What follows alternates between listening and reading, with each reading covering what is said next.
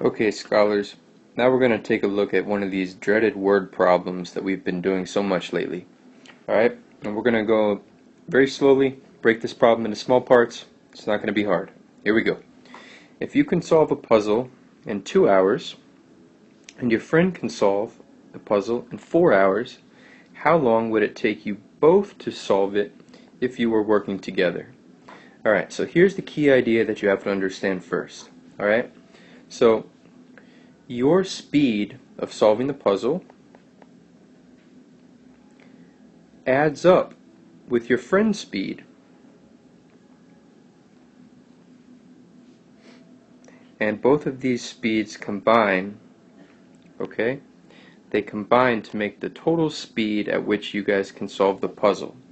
Alright, so once you have this expression that we have here, then the problem just comes down to writing an expression for this, writing an expression for this, and an expression for this. And then we can just solve it. Alright, so let's find an expression for your speed. Alright, how are we measuring the speed here? Okay, we're measuring it in the amount of the thing we do, which in this case is puzzles. So amount of the puzzle solved divided by the time that it takes to do that, time that it takes to solve that amount. Okay, Alright, so your speed will be one puzzle in two hours. Okay, so you have a speed of one half puzzles per hour. Alright, now what's your friend's speed? Your friend's speed is one puzzle every four hours. Okay, and then the total speed this is where the variable comes into play because together you're going to solve one puzzle but you don't know how long it's going to take. So if we write an expression for the total speed where it comes uh, for the time, we're just going to call that x okay, because we don't know how many hours it's going to take. Alright, so again, we've just written an expression for your speed, your friend's speed, and then the total speed if you guys are working together. Alright, now we just have a rational equation and we're going to solve it for x. So I'll rewrite that down here so it's a little bit easier to work with. And here we go.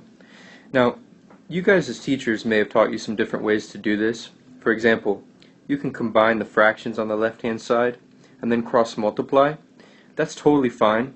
But what I like to do is just multiply every term in the equation by the lowest common denominator because it clears the fractions really quickly and then I don't have to worry about adding fractions. So here I look at the denominators and I see that the smallest quantity that all of 2, 4, and x can go into will be 4x. Alright, and then what I'm going to do is I'm going to multiply each numerator by 4x.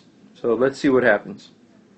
Right, 4x times here, 4x, and 4x. Now the whole point of doing this is that now we have a common factor of 2 on the numerator and denominator. So 2 goes into 4 two times. And what I'm left with on the numerator here is 2 times x. So I'm just going to write that over here. Alright, now plus, so plus, and in the next fraction I have a common factor of 4. So I can cancel those out and I'm left with just x. On the right hand side what gets canceled out? Well, the x's. And I'm left with just 4 times 1, or 4. Alright, so now I have a really simple linear equation that I can solve. Okay, so just x, no x squared, no anything.